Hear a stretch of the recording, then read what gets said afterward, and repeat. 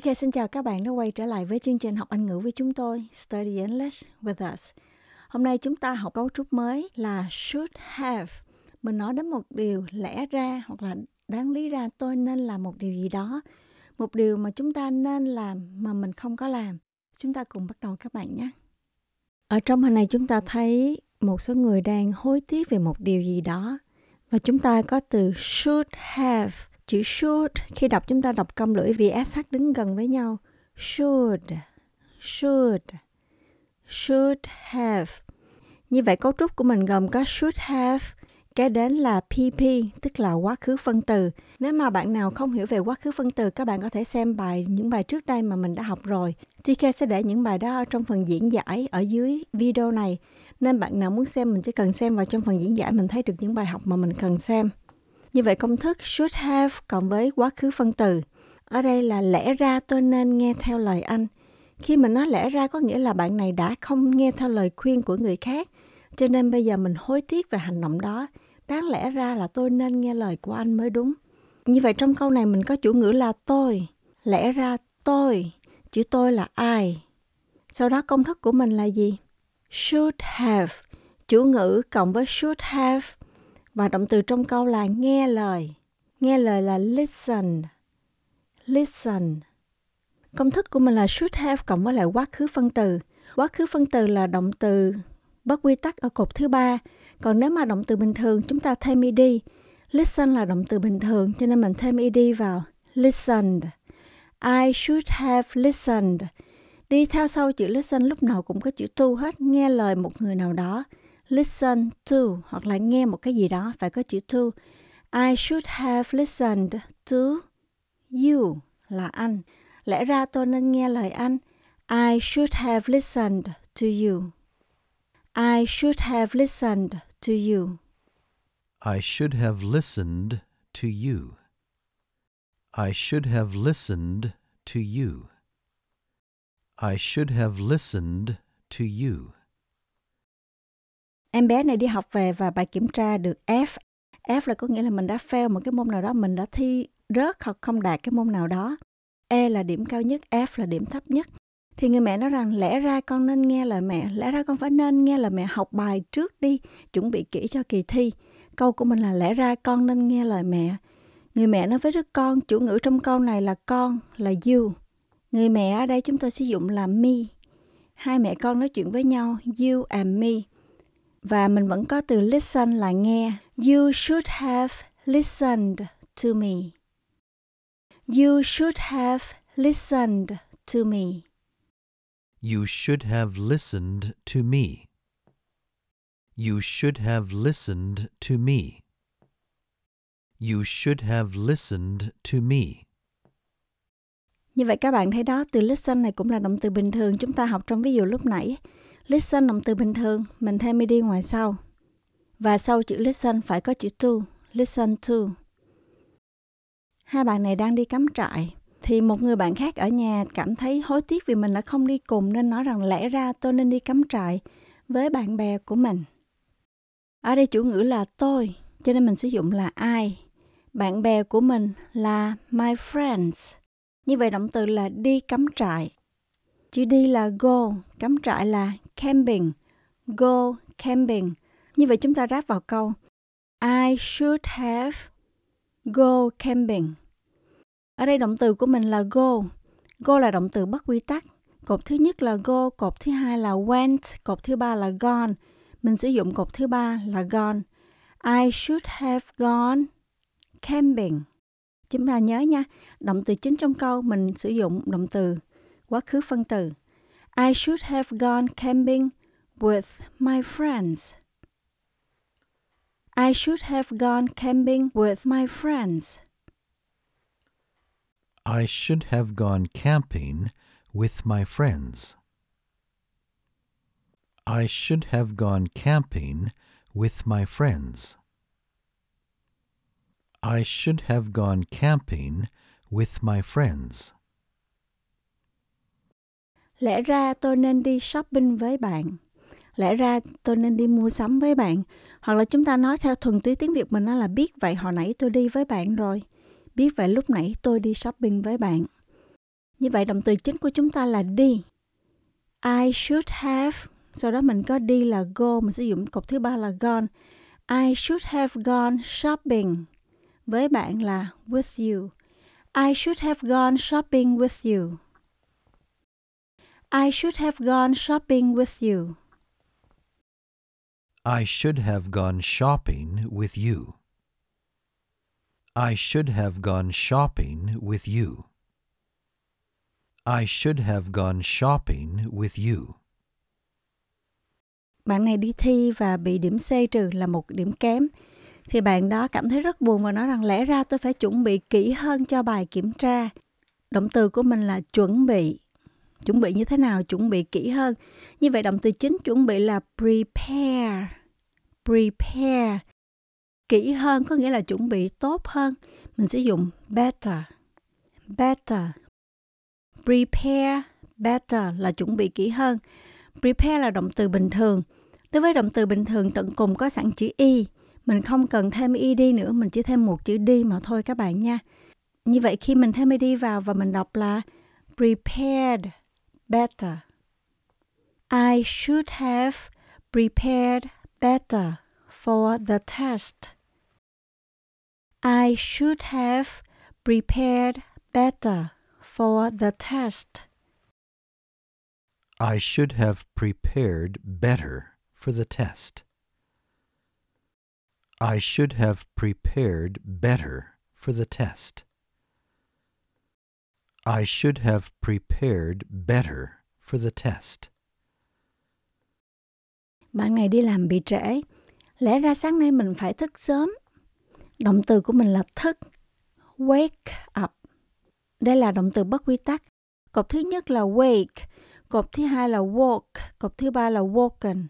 Mình sử dụng cột thứ ba. I should have woken up early. Mình có từ sáng nay cụm từ chỉ thời gian mình để cuối cùng. This morning. I should have woken up early this morning. I should have woken up early this morning. I should have woken up early this morning. I should have woken up early this morning. I should have woken up early this morning. Hoặc là mình đi ngủ mà mình thức dậy trễ. Mình nói là lẽ ra tối hôm qua mình nên để chuông báo thức hoặc là biết vậy tối hôm qua mình để chuông báo thức. Ở đây động từ của mình là để hoặc là cài cũng được. Cài chuông báo thức, để chuông báo thức vẫn được các bạn nha. Chuông báo thức là the alarm. Để hoặc là cài là set. Động từ bất quy tắc. Mình có cột thứ nhất là set, cột thứ hai set, cột thứ ba cũng là set. Như vậy mình đáp lại thành câu I should have set the alarm tối hôm qua, last night. I should have set the alarm last night. I should have set the alarm last night. I should have set the alarm last night. I should have set the alarm last night. I should have set the alarm last night. À, mình đến nhà bạn của mình nhưng mà mình không có hẹn trước. Cho nên khi chúng ta đến mình gõ cửa hoài không có ai ở nhà hết. Thì mình nói đáng lẽ ra mình nên gọi điện trước cho họ. Ở đây mình có động từ là gọi điện là call. Call. Đây là động từ bình thường, mình thêm ed vào. Gọi điện trước, chữ trước là in advance. In advance. Khi ráp lại nguyên câu mình có I should have, sau đó động từ chính là called. Và gọi cho ai? Gọi cho họ thì mình để chữ họ ngay sau chữ called. I should have called them in advance. I should have called them in advance. I should have called them in advance. I should have called them in advance. I should have called them in advance. I should have called them in advance. Mình thấy cái miếng thịt này chưa có chín kỹ lắm. lẽ ra mình nên nấu lâu hơn một chút xíu nữa. Động từ chính là nấu, là cook. Đây là động từ bình thường, chúng ta chỉ thêm ed thôi. Mình ráp lại I should have, số động từ chính là cook. I should have cooked. Lâu, chữ lâu là long, ở đây là lâu hơn, thì chúng ta thêm chữ er ngoài sau chữ long là longer. I should have cooked longer. Một chút nữa là a bit. Và chữ a bit mình để phía trước chữ longer. Như vậy mình có câu là I should have cooked a bit longer. I should have cooked a bit longer. I should have cooked a bit longer. I should have cooked a bit longer. I should have cooked a bit longer. Nhà mình bị cắt điện vì mình chưa có đóng tiền điện. Lẽ ra mình phải đóng tiền điện từ tuần trước, mình cảm thấy hối tiếc vì mình không có đóng tiền điện nên hôm nay mình bị cúp điện các bạn nha. Thì đây động từ của mình là đóng, đóng tiền hoặc là trả tiền giống nhau. Mình sẽ dùng động từ pay. Đây là động từ bất quy tắc. Cột thứ nhất là pay, cột thứ hai là paid, cột thứ ba là paid. Mình sử dụng cột thứ ba. Như vậy I should have paid là trả tiền. Trả tiền cho gì? Tiền điện. Mình có từ điện là electricity. Electricity. Mình không sử dụng chữ tiền ở đây, mình sử dụng chữ bill. The electricity bill. Tuần trước là last week. Cụm từ chỉ thời gian thường sẽ để ở cuối câu các bạn nhé. Như vậy câu hoàn chỉnh của mình sẽ là I should have paid the electricity bill last week. I should have paid the electricity bill last week. I should have paid the electricity bill last week. I should have paid the electricity bill last week. I should have paid the electricity bill last week. Như vậy các bạn thấy đó, cấu trúc của chúng ta rất là dễ. Chủ ngữ có thể là mình, có thể là một người nào đó. Sau đó là should have và động từ chính trong câu là quá khứ phân từ. Động từ bất quy tắc ở cột thứ ba hoặc là động từ bình thường, mình thêm đi các bạn nha. Như vậy chúng ta đã học xong bài của ngày hôm nay, cũng một cấu trúc câu như thường lệ và TK đưa cho mình 10 mẫu ví dụ khác nhau. Và hy vọng là các bạn có thể hiểu được và mình có thể đặt thêm nhiều mẫu câu khác nữa. Ở phần tiếp theo, các bạn sẽ cùng anh Phong và Thi TK tập đọc nhé. Chúng ta cố gắng đọc thật là to nha. I should have listened to you. I should have listened to you. I should have listened to you. I should have listened to you. I should have listened to you. You should have listened to me. You should have listened to me. You should have listened to me. You should have listened to me. You should have listened to me. I should have gone camping with my friends. I should have gone camping with my friends. I should have gone camping with my friends. I should have gone camping with my friends. I should have gone camping with my friends. I should have gone shopping with you. I should have gone shopping with you. I should have gone shopping with you. I should have gone shopping with you. I should have gone shopping with you.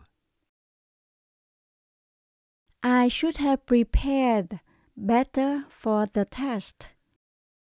I should have prepared better for the test. I should have prepared better for the test. I should have prepared better for the test. I should have prepared better for the test. I should have woken up early this morning. I should have woken up early this morning. I should have woken up early this morning. I should have woken up early this morning. I should have woken up early this morning. I should have set the alarm last night. I should have set the alarm last night. I should have set the alarm last night. I should have set the alarm last night. I should have set the alarm last night. I should have called them in advance. I should have called them in advance.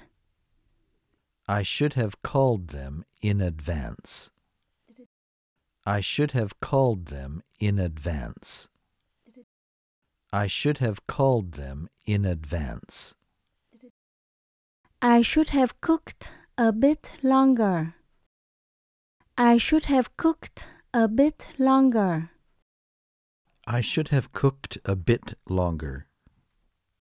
I should have cooked a bit longer. I should have cooked a bit longer. Nếu mà sau khi tập đọc xong các bạn cảm thấy mình chưa có tự tin lắm, mình có thể tập đọc lại thêm một lần nữa. Các bạn không cần phải xem phần giải thích. Mình chỉ cần kéo lại nửa video và tập đọc phần tập đọc chung với nhau thôi các bạn nha. Nếu mà các bạn thích bài học này của TK và Anh Phan, các bạn vui lòng like và share dùm cho TK nhé. Cảm ơn các bạn.